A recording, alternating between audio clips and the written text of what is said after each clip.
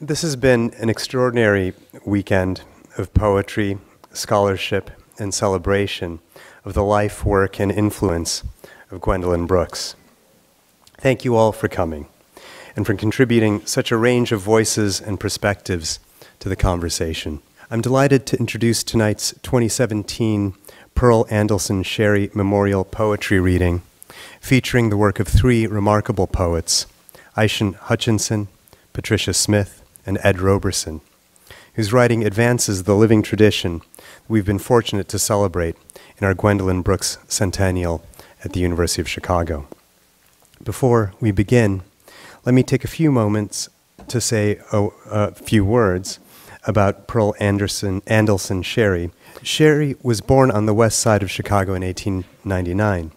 She studied at the University of Chicago and went on to begin her literary career at Poetry magazine under the editorship of Harriet Monroe. Her first book of poetry, Fringe, was published in 1923, and her poetry, fiction, and reviews appeared in many periodicals, including The Dial, Poetry, The New Republic, and The Southern Review. She continued to write and publish poetry until shortly before her death in 1996. Established in 1997 through a gift from the Sherry family, the Pearl Andelson Sherry Memorial Fund annually brings a cont- major contemporary poet, or, in tonight's case, three of them, to the University of Chicago. Now, this evening's readers. I won't recite our poet's copious achievements and recognitions, as that would take all night. In a package of minutes, Brooks writes, there is this we. Collective experience in her work, life, and politics resists declension into the accusative case. Not, there is this us, but rather, always, already, there is this we. Refusing to assimilate her first person plural into authorized grammars, she produces some of the most famous verses in the black literary tradition. We real cool. Who is this we? In the package of minutes ahead, we'll hear three poets who explore diverse approaches to the open question of black collectivity in our time. On first reading, Ishion Hutchinson sounds like the herald of an exultant, rebarbative, irrepressible first person singular. I, upsetter. I, Django on the black wax. The super ape. E.T. I cleared the wave, he writes. But this I speaks under the sign of a colonialist history that subordinates individual experience to the totalizing minister of all, also known as the man, the Gorgon, dawn of dawns, the president, minister, chief. This spectral politico turns a blind eye to what poetry makes sensible. You'd shudder to see them, bare backed men, bent, kissing the earth, so to slash away the roots of the canes. Every year, the same men, different cane. And when different men, the same cane. In Hutchinson's poetry, we hear the work songs of agricultural laborers slashing at harvest. History, he writes, is dismantled music. But we also feel the tidal push and pull of sameness and difference that gathers any I into the we from which it endlessly departs. At Land's End, this poet writes I sit on a log, facing it, the white detonating curtain, the sea our sea. Our second reader, Patricia Smith, is an incendiary elegist for the victims of lynchings, urban violence, and police murder. Emmett Till, the girls in the 16th Street Baptist Church, Trayvon Martin, and too many others that haunt the American conscience. Where all else fails, political marches, online petitions, media coverage, can poetry make their names matter? Our word for matter derives from mother. And Smith regards black life in its violent reduction to nominal matter with familial care. The body is secured in a blue body bag, she writes in her elegy for Michael Brown. The body is secured in a blues body bag. The body was crafted to absorb the blues. The blues, Smith reminds us, is a singular plural reflective of black experience in our nation's history. How many bodies add up to a we? How many blue body bags does it take to give any body a permanent case of the blues? Smith's art instructs us in the deep calculus of thinking color. There are 52 shades of blue, she observes, or a million and 52, depending on which river you ask. Ed Roberson, who'll conclude this evening's reading, asks us to think collectivity on a macroscopic scale. We look at the world to see the earth, he writes. But what of the world is seen in looking at the earth? Yet, even when looking from several removes at Wallace Stevens regarding the eye of a blackbird searching out something beyond us among 20 snowy mountains, Roberson notes that no one notices your eye, a black history. Perception itself, in this writer's work, feels both universal and particular because we're all the displaced first person of I keep arriving at a house that isn't mine. We've all listened to the rain you can't hear to the edge of. But Roberson also makes us aware, with sharpened acuity, of how John Coltrane, in all his historical specificity, can be heard in the silence at the end of one recording to say, Help. Live not for the end of the song, Gwendolyn Brooks counsels the next generation. Live in the along. Roberson asks us how to live in the social along after the end of her song. We might hear a cry for help there, or a bonus track, or maybe a standing ovation. Listening on, this poet tests the edge of perception and reception. I've never understood why applause counts at the precise point that what doesn't matter is the audience. It's too late to listen. Please join me in welcoming our three poets, Ishion Hutchinson, Patricia Smith, and Ed Roberson, with applause.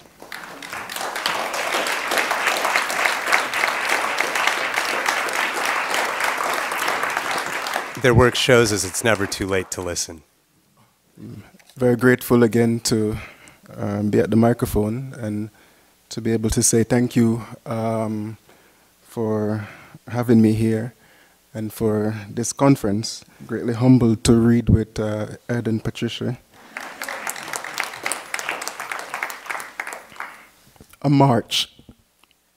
Lesson of the day Syria and Styria. For Syria, read his conquering banner shook from Syria.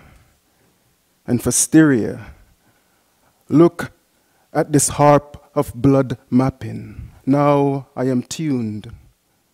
I am going to go above my voice for the sake of the forest shaken on the bitumen. You can see stars in the skulls, winking synapses, intermittent on edge of shriek, perhaps a cluster of fear, birches. Anyway, don't get too hung up on the terms.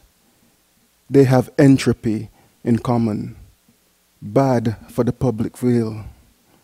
Those obtuse centurions in the flare of the bougainvillea, their patent seeking gift kindled, diverse speech, cruelty, justice, Never mind, but do pay attention to the skirmish, the white panther that flitters up the pole. Its shade grows large on the ground. A further shore. By the shadowless lion bluff of Pigeon Island, you've gone swimming.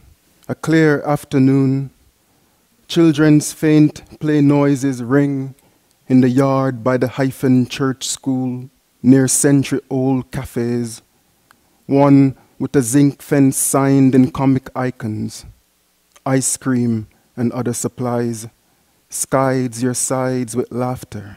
But they vanish near the beach stretch, the piratical atelier's paradise, a white army of luxury boats idled, processional, waiting for a flare to blow and ignite another plantation. Without Bible or chains. Just the Prime Minister's handshake and bow. You ignore them for your first immersion. The blue water whitens and collects you in its salt mine. Ah, Vejo.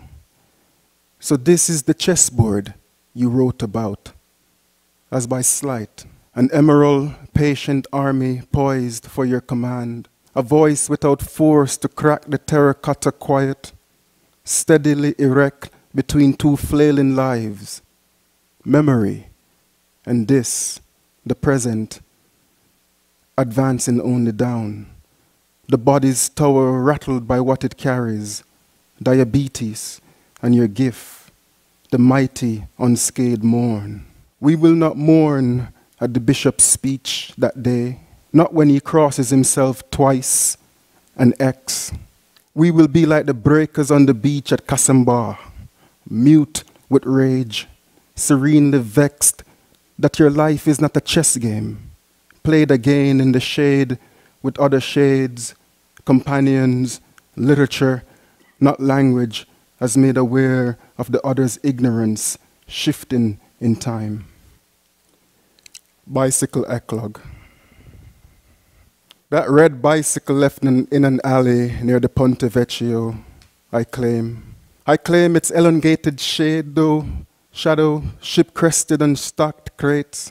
I claim the Sorrowmouth Arno and the stone arch bending sunlight on vanished medieval fairs. But mostly, I claim this two wheeled chariot vetching on the wall, its sickle fenders reaping dust and pollen off the heat congested city coiled to a halt in traffic. And I, without enough for the great museums, am struck by the red on the weathered brick, new tires on cobble, the bronze tulip bell, smaller than Venus's nose, turned up against the river, completely itself for itself. The scar in my palm throbs, recalling a tiny stone once stuck there after I fell off the district's iron mule, welded by the local artisan, barrel mouth, no relation of Botticelli, the summer of my first long pants. The doctor's scissors probing my flesh didn't hurt, nor the lifeline bust open when the stone was plucked out.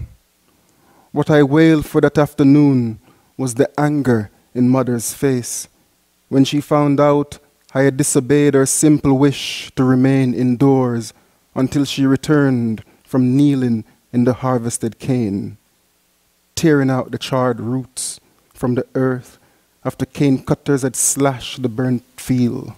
It was her first day and her last, bowing so low to pull enough for my school fee. For again, the promised money did not fall from my father's cold heaven in England. As we walked to the clinic on a rabble of hog plums.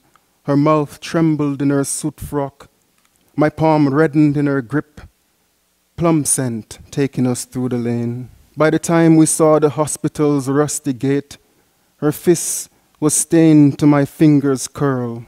And when I unfastened my eyes from the ground to her face, gazing ahead, terribly calm in the hail of sunlight, a yellow shawl around her head, something of shame became clear. And if I had more sense, as my blood darkened to sorrel at the age of 12 or 13, I would have forgotten the sting and righted tighter my hold before letting her go. And now, as I raise my camera, bells charge the pigeon sky braced by the Duomo, a shell falling from the sun. I kneel snap the cycle, rise, hurry away, punishment. All the dead eyes of the dead on portraits behind her looked down as she ate donuts off a cloth napkin, her mouth sugared. I saw myself possessed by myself in her glasses' milky lens that possessed the globe on her desk. A Quaker gift, the former principal, dead but not yet a portrait, left with Africa spun towards us. She swallowed, then asked, Why was I here? I told her, for intimations. She stopped mid chew, surplice of sugar danced at the down curl of her lips. She said, Excuse me? I continued, For immortality. She looked with cow out of pasture concern. The other's eyes scalded through me. The clock fell silent, though the second hand wheeled around the white face. For my freshness, she said, you must be punished. You must go out to the cemetery by the chapel. Write down every last living name off the tombstones before she arrived. No problem. I knew the dead. I was well off with their names. But she asked, a fresh donut christened the napkin, if I am clear why she has done this, why she must punish me. The portraits drew one breath. I began for my rejection of things past, because for my life the green graves by the chapel puzzle me, and the sea outside our classroom, those ships no one else sees, humming, humming, their frail sails join us, though I don't know who us is. She rose, utterly black. I retreated. She filed past the cabinet, upset the globe. I whirled out the door. There, cliffs and clouds, the dark manchineel blinding the path. I bolted down, hardly believing my legs running and leaping above ground, straight down Hector's River Sea Road, flanked by this hushed, breaking sea. Sibelius and Marley. History is dismantled music slant, bleak on gravel. One amasses silence, another chastises silence with nettles, stinging ferns. I oscillate in their jaws. The whole gut listens. The air winces white nights in his talons, sinking mire. He wails and a comet impales the sky with the dual wink of a wasp burning. Music dismantles history. The flambeau in flame in his eyes with a locust plague, a rough gauze bolting up his mouth unfolds, so he lashes the air with ropes and roots that converge on a dreadful zero, a golden age. Somewhere, an old film, dusk solders on a cold, barren coast. There, I am a cenotaph of horns and stones. Sprawl.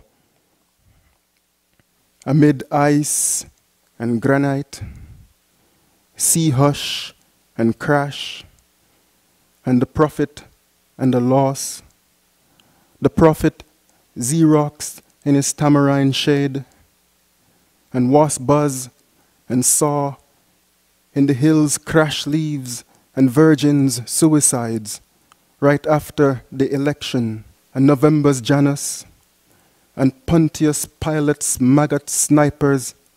Amen.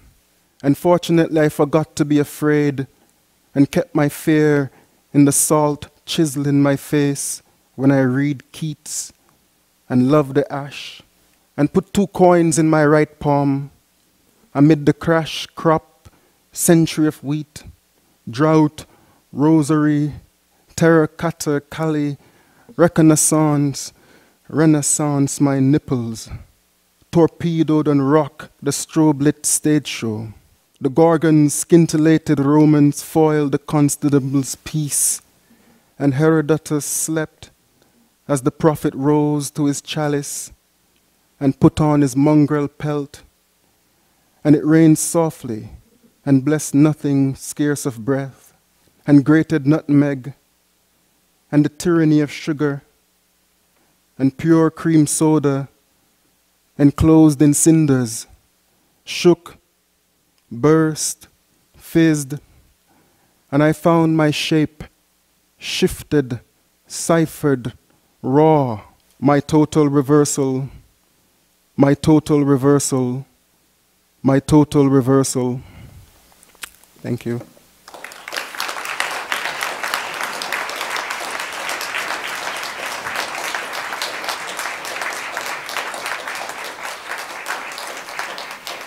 How's everybody doing? Good. Uh, it is always glorious to come home whenever Miss Brooks calls. And I'm, I'm at home for about six days this month, and everything I'm doing is because of Gwendolyn Brooks Centennial. So I'm very happy about that. Let's see. Okay. You know, you turn the pages down and they come. Okay, here we go. Winter, with its numbing gust and giddy twist of ice, is gone now. It is time for warmth again. So, where is Gwendolyn Brooks? Its huge shoulders slumped, Chicago craves her hobble, turns pissed and gray, undust her name. To know her, you need to ride her city's wide, watery hips. You need to inhale an obscene sausage smothered in gold slipping onions while standing on a chaotic street cross where any jazz could be yours. Walk the hurting fields of the west side, our slice of city burned to bones in 68. Goldblatts, the colored Bloomingdales, gone. Lerners, where we learned pinafore, gone. No more havens for layaway. No more places to plop down a dollar a week for PF flyers or wool jumpers with seams glued shut. The meat market with its bloody sawdust, torch, its proprietors now crisping languid under Florida sun and flap-jowled Mayor Daley, our big benevolent murderous daddy, gifted us with high-rise castles crafted of dirty dollars, battered cans of bumpy milk, and free cheese. To know Gwen, you need to know the Alex, the only movie theater west where frisky rats, big as toddlers, poke slow noses into your popcorn, then locked red round eyes on Cleopatra Jones and sat confident and transfixed. After the movies and any corner's fried lunch, we'd head to the store in the back of that fat man's house to surrender hoarded quarters for the latest 45 striped licorice in black or red, pork rinds, Boston baked beans, or fat sour pickles floating in a jar in the corner. The fat man's wife, Miss Caroline, plunged her hammy forearm into the brine, pulled out the exact pickle you pointed to, and shoved it deep into a single ply paper bag. Only the truly Negro would then poke a peppermint stick. Hi, Avery. West side, west side. Okay.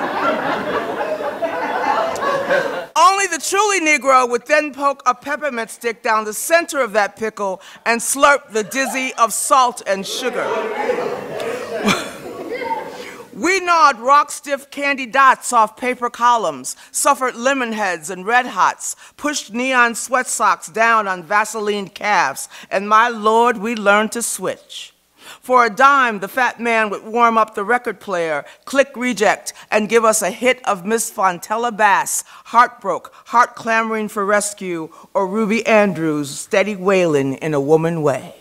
There were so many millions of each one of us, ashy goddesses walking the wild west, strutting past sloped storefronts where brown meat and hogs' heads crowded the windows, past shuttered groceries and gas stations with pump boys iron our new undulating asses, past fashion palaces where almost no money satisfied our yearning for hollow glamour with cheap threads already unraveling. Observe the kick ass angle of our crowns. Chicago girls just keep coming back. They don't hear you, they don't see you, they ain't never really needed you.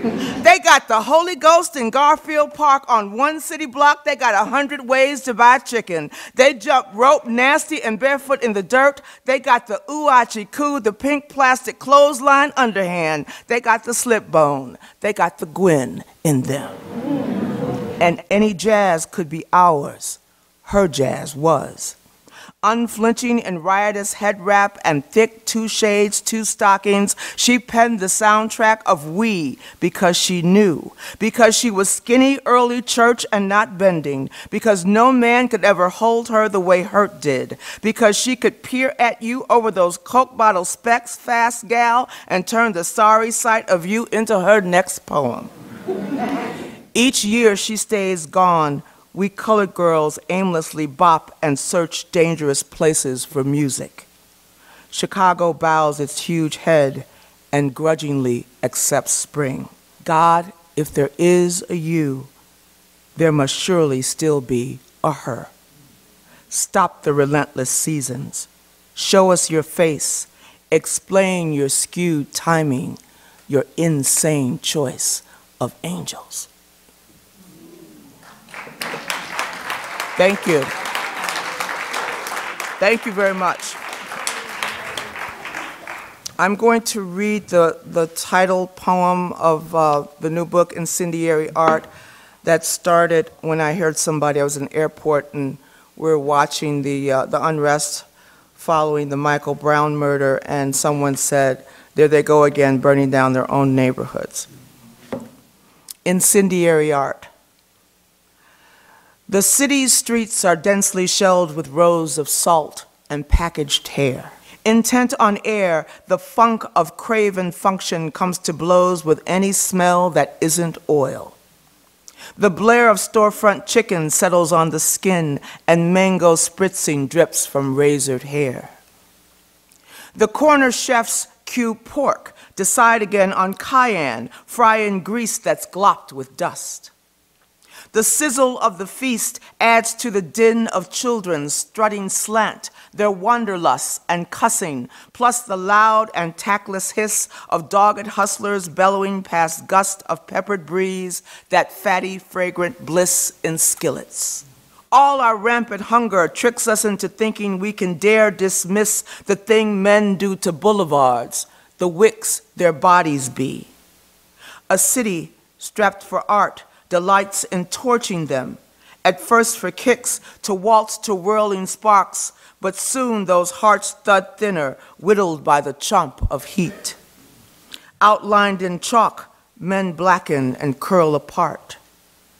Their blindly rising fume is bittersweet, although reversals in the air could fool us into thinking they weren't meant as meat. Our sons don't burn their cities as a rule, born as they are up to their necks in fuel. This one is for my mother.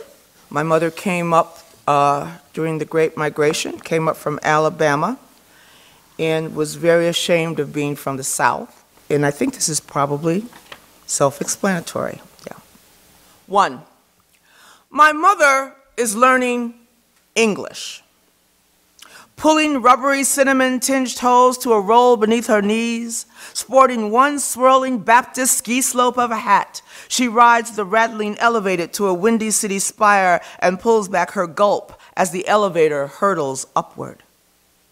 Then she's stiffly seated at a scarred oak table across from a white government sanctioned savior who has dedicated eight hours a week to straightening afflicted black tongues. She guides my mother patiently through lazy ings and ers, slowly scraping her throat clean of the moist and raging infection of Aliceville, Alabama. There are barely muttered apologies for colored sounds. There is much beginning again. I want to talk right before I die. Want to stop saying ain't and I done been like I ain't got no sense. I'm a grown woman. I didn't live too long to be stupid, acting like I just got off the boat. My mother has never been on a boat. but 50 years ago, merely a million of her, clutching strapped cases, Jets Emmett Till issue, and thick peppered chicken wings in waxed bags, stepped off hot rumbling buses at northern stations in Detroit, in Philly, in the bricked cornfield of Chicago, brushing stubborn scarlet dust from their shoes, they said, We north now, slinging it in backdoor syllable as if those three words were vessels big enough to hold country folks' overwrought ideas of light. Two. Back then, my mother thought it a modern miracle this new living in a box stacked upon other boxes, where every flat surface reeked of Lysol and effort, and chubby roaches, cross eyed with raid, dragged themselves across freshly washed dishes and dropped dizzy from the ceiling into our Murphy beds, our wash tubs, our open, steaming pots of collards. Of course, there was a factory just two buses close, a job that didn't involve white babies or blue laundry, where she worked in tense line with other dreamers, repeatedly, repeatedly, repeatedly, repeatedly, all those oily, hot-combed heads drooping, no talking as scarred brown hands romanced machines, just the sound of doing it right and juicy fruit cacking. A mere mile set away, there had to be a corner tavern where dead bluesmen begged second chances from the juke and where my mama, perched man-weary on a comfortable stool by the door, could look like a Christian who was just leaving. And on Sunday at Pilgrim Rest Missionary Baptist Church, she would pull on the pure white gloves of service and wail to the rafters when the Holy Ghost hot hand grew itchy and insistent at the small of her back. She was his child, finally loosed of that damnable delta, building herself anew in this land of sidewalks, blue jukes, and sizzling fried perch in virgin white boxes. See her, all nap burned from her crown, one gold tooth winking, soft hair riding her lip, blouses starched hard, Orlon sweaters with smatterings of stitched roses, A-line skirts, the color of unleashed winter. Three, my mother's voice is like homemade cornbread, slathered with butter and full of places for heat to hide. When she is pissed, it punches straight out and clears the room. When she is scared, it turns practical, matter of fact, like when she called to say, They found your daddy this morning. Somebody shot him, he dead. He ain't come to work this morning. I knowed something was wrong. When Mama talks, the southern swing of it is wild with unexpected blooms, like the fields she never told me about in Alabama. Her rap is peppered with ain't gots and I done bins and he bees, just like mine is when I'm color among color. During worship, when talk becomes song, her voice collapses and loses all acquaintance with key. So, of course, it's my mother's fractured alto wailing above everybody, uncaged, unapologetic, and creaking toward heaven. Now she wants to sound proper when she gets there.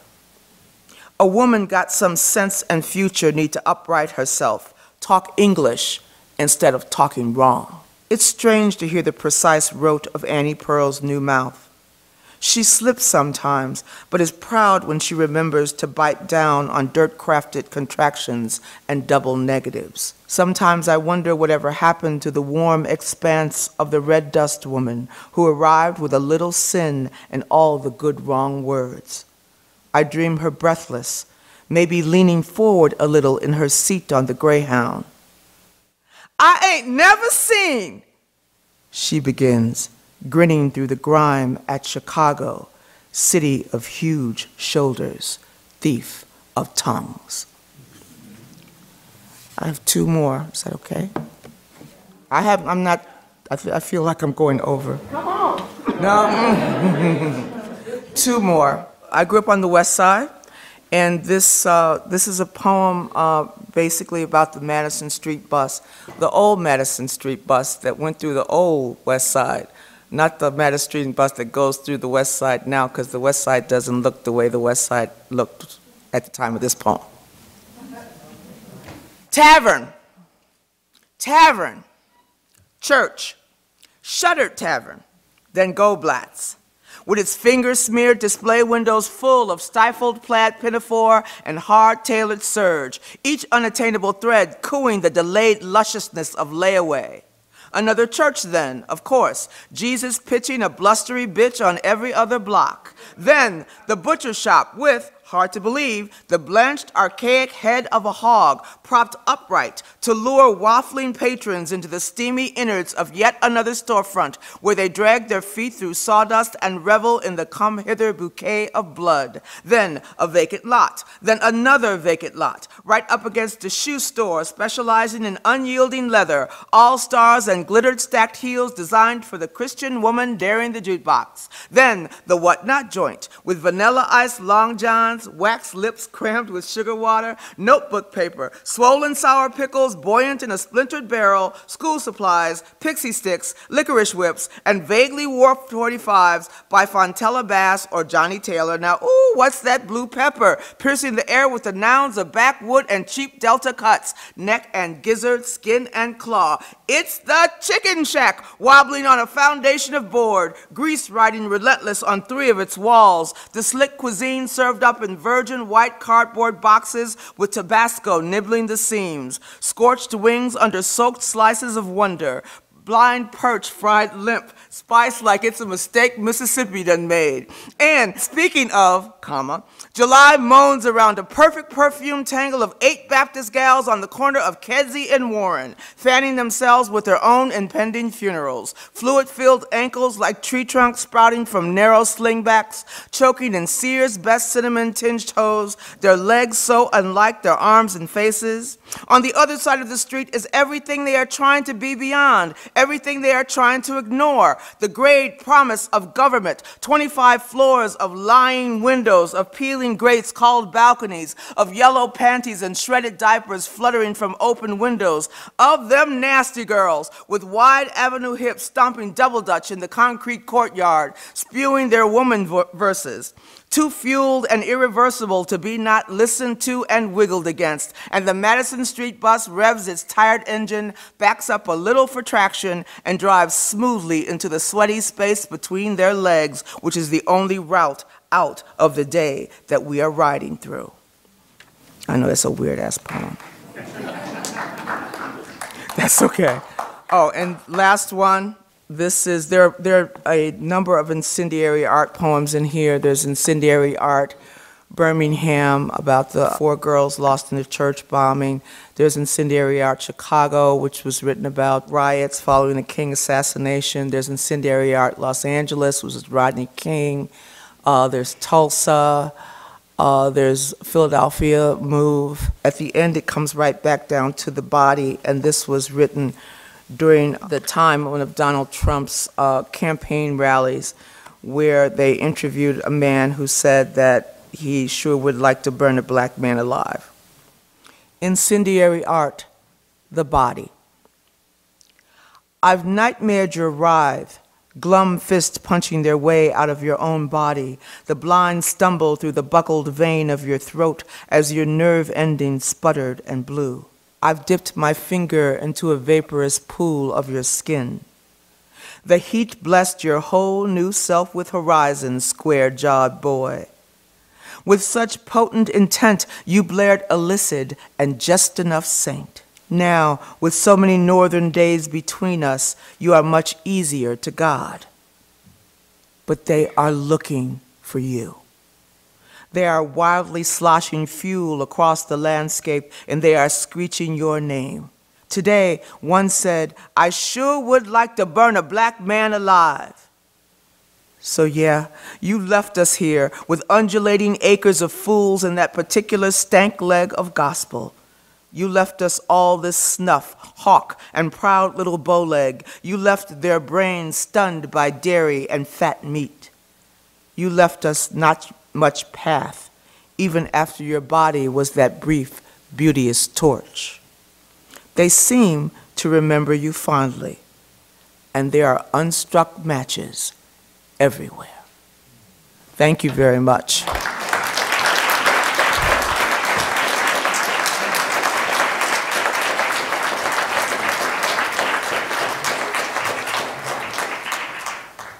Patricia, do the bus to that Chicago stop downstairs.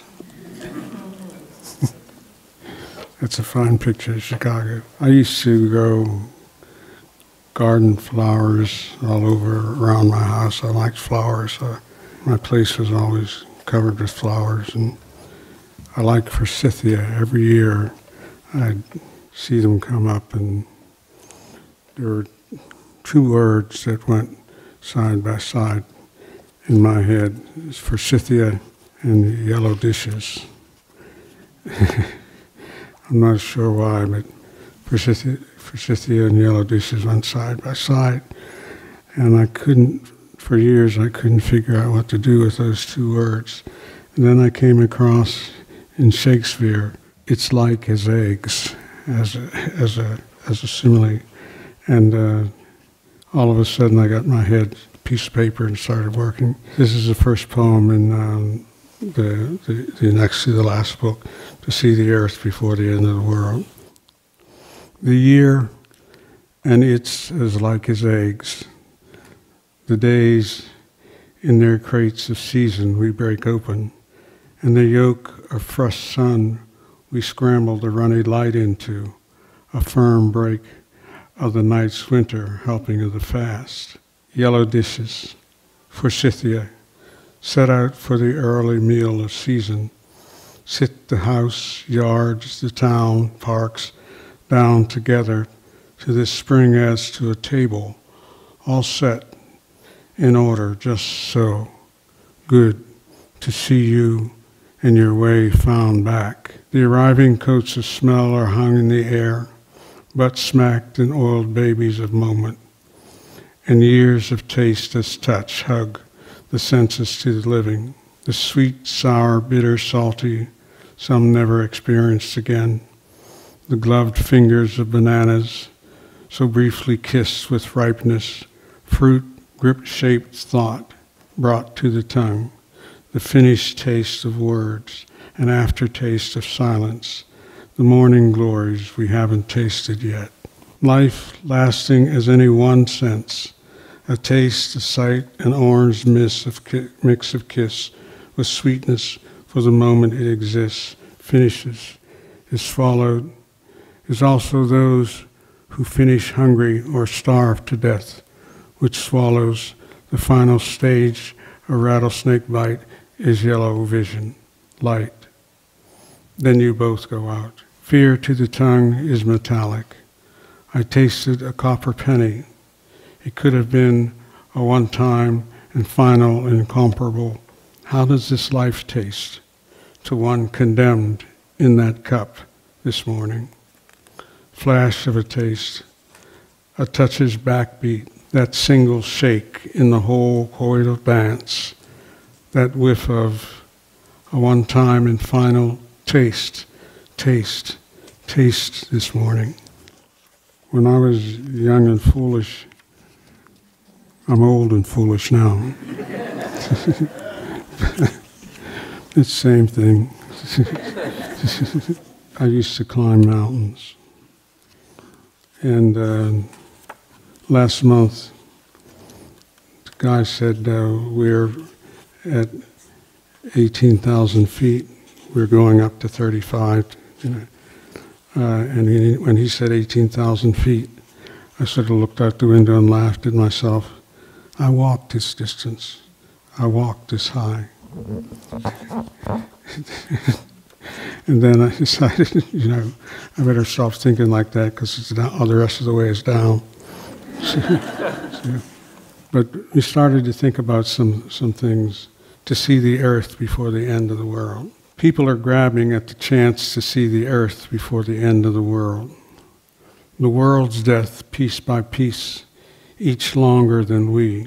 Some endings of the world overlap our lived time skidding for generations to the crash scene of species extinction. The five minutes it takes for the plane to fall, the mile ago it takes to stop the train, the small bay to coast the liner into the ground, the line of title to a nation until the land dies, the continent uninhabitable.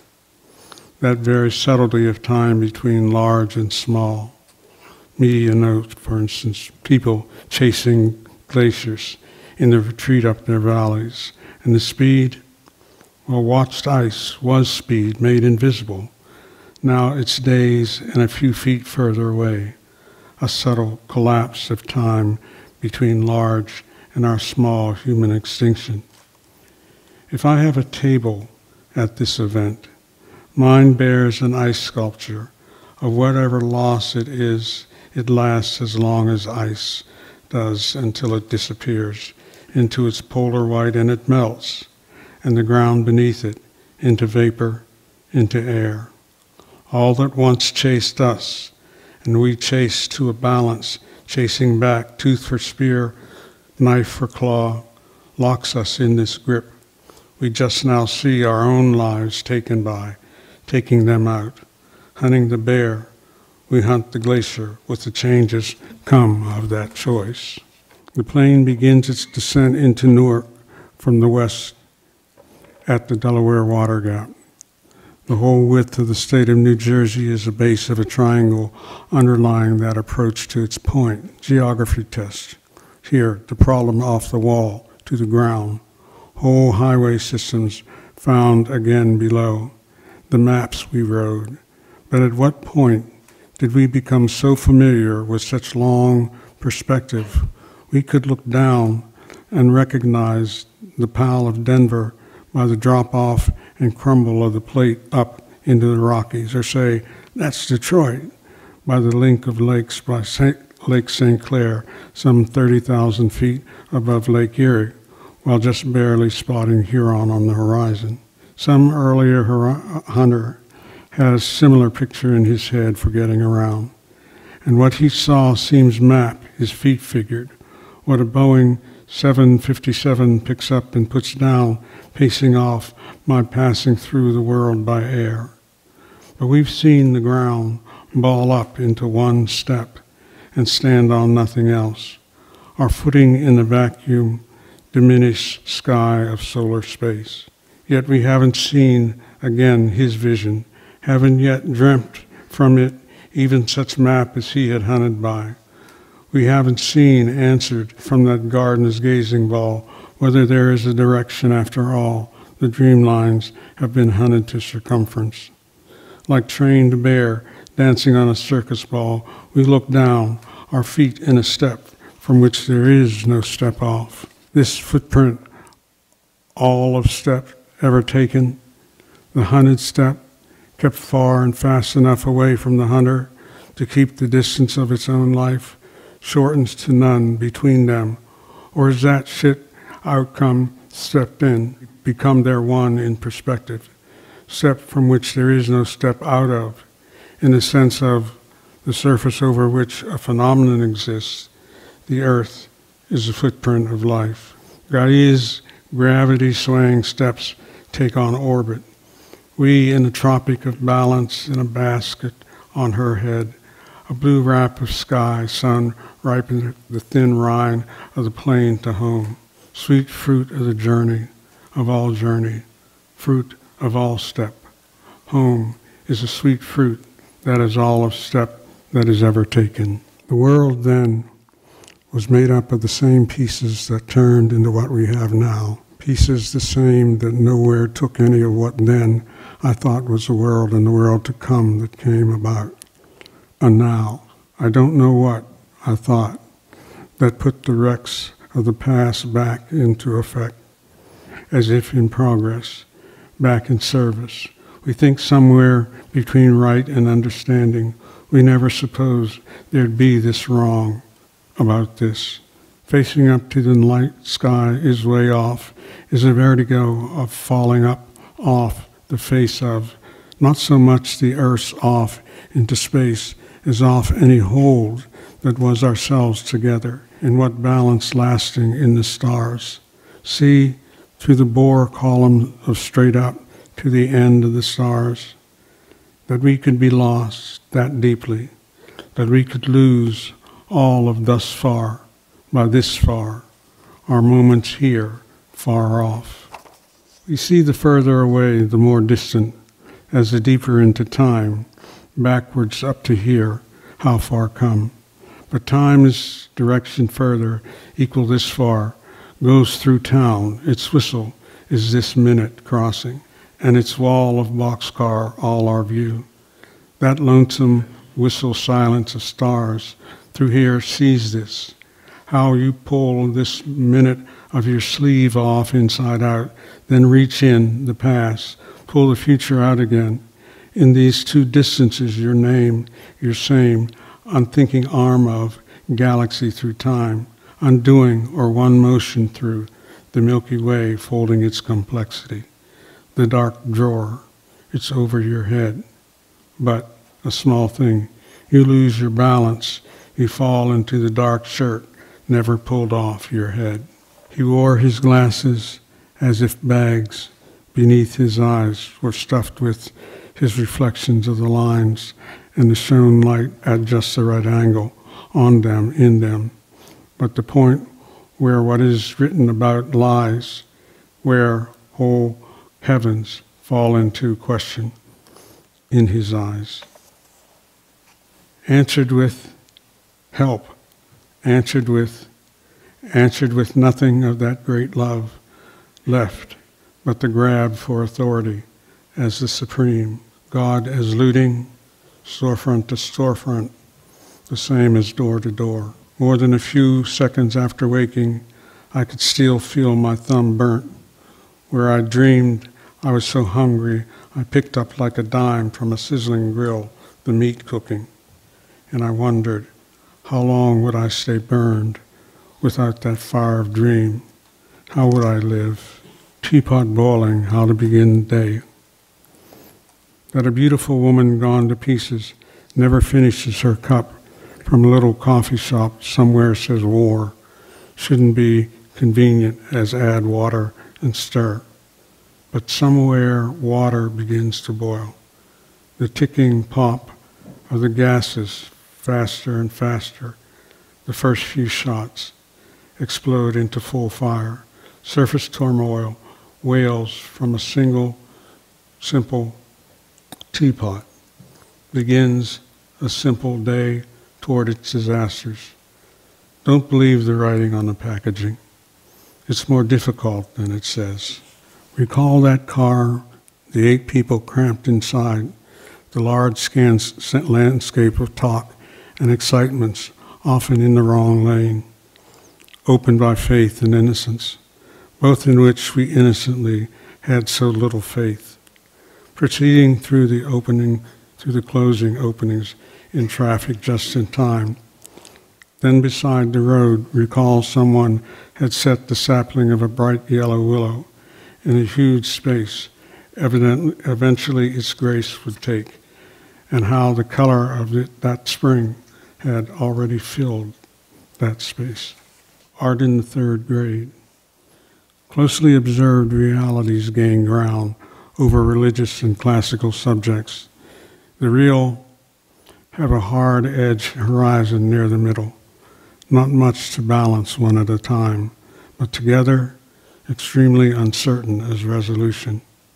Vertiginous, all kinds of smart alignments and blind pairings, earliest of those purely observed that I felt only myself see by the third grade was meat in the butcher shop, pig's feet, the skins looked like my seat partner's hands, and I felt this sadness for her. She was ugly, and she wasn't supposed to be, being white. It was my secret then that I could see it as meat and supposed to be, supposed to really be looked at. Some of them are more of light than they are color. The flowers ultraviolet that in certain cloudy sunlight blurs the limiting borders out of sight and glows, or ice that the sky running around inside its facets, switching the flashlight blue to green, milky green, almost phosphorescent, a glow in the dark moment for in daylight. Glass is always light, in that it's not there as color. Transparency is thin air until you smack into it clearly, a lie everything you saw on some other side. Some of the colors tar baby the light into not getting away from as color, like the hole that swallows anything and never shines and were never color. Anyhow, to some, only something black, like back when Ellington's music was only nigger music, only nigger noise, or if music, only popular, not art, so clearly on the other side. Whatever side of light this is of seeing, this is that darkly raised to seeing through in American glass without distortion of any kind of wisdom or being seen. How far off that surface does it have to bounce before blue dissolves from color into light. What the tree took on, wood, wood that has grown around the fence post over the years enclosing it, the metal in a swirl of grain, a tree that has taken a bullet from the Civil War, shot, suddenly exposed in a tabletop, being made, grown into the open by hand, seats us at the bench of our own consequence, shown all around us. We don't get away. We don't get off race. Though we know genetically it doesn't exist, does not a grace, but is enacted as our history in us, is enacted as American. The tree does not ungrow the shot, unfire the whip, unlash from the hand having to build here, nor its scar on scar, but to remain in the grain. I have a man I went to school with who became a furniture maker in New Hampshire, and he found a, a tree, he was given a tree, had shot in it, and it turned out, after he aged it, or counted the age, turned out to be Civil War. And he made the table so that you could see the bullet. Lastly, there are a couple of poems. I've been writing, uh, since I don't drive anymore, I've been writing the number three. Uh, I always enjoyed writing the number three anyhow. It, it, hasn't been a punishment, it's been a real delight. But I, I see uh, people on there and I, I listen to what they say and take down some of the things that they do. So I have three poems. These will be my last three poems. Usually the poems that I write are about women on the bus. I'd listen to the conversations, and sometimes I'd be in the conversations. And like in one of the conversations, she was talking about the family buying a boat, and she was saying, "Well, you know, we don't tan." So, may I ask you who your grandmother died? Her blackness you pretended we'd assume a servant's in the photograph. May I ask, did she die herself? I know you all light under an umbrella don't tan, and she could be seen as she had been made to, too dark for what the sun do. I saw her years ago after she died, and again today in the market. I asked her, I had to know if she was who I knew. Only two things you really has to. That's to stay black and die. Yes, but um, if black leads to some pretend that you have died, except you're black and alive, who are you? She is as hundreds of years old as the stories of the lies of grandmothers in the cellar. May I ask who your grandmother died, if she died herself? Then there's Aunt Haint. Uh, you know, black folks have a couple of ways of saying uh, A-U-N-T, aunt, ain't, and all the other ones too. but a haint is a, is a ghost. Aunt Haint.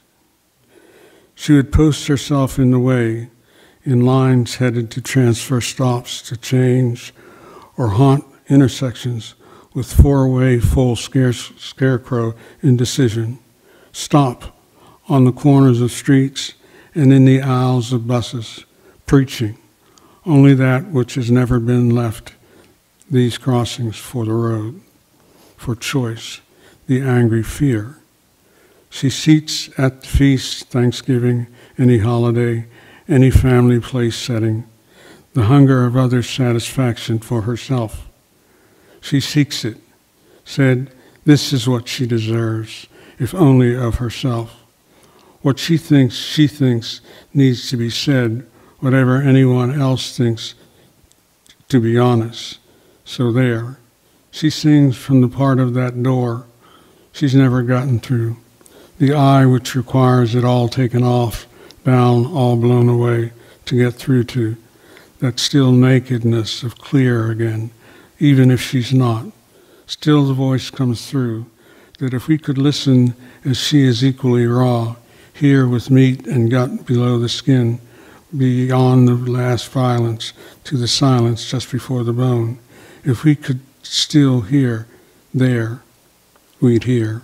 And the last one, I was in the bank at the window, and um, a woman came running in, locked the door behind her, and this is what she said. You see me get the hell away from her, don't you? Quick as I can, and I being nice. She act all girlfriend, but that bitch dangerous. She pulls so much rotten shit on peoples, she do to get her ass killed any time. And I don't tend to be nowhere near around. I ain't getting cut down just for standing next to her. I ain't all that innocent. I don't look for nothing that I don't deserve. Listen to people, they have a lot to say. Thank you.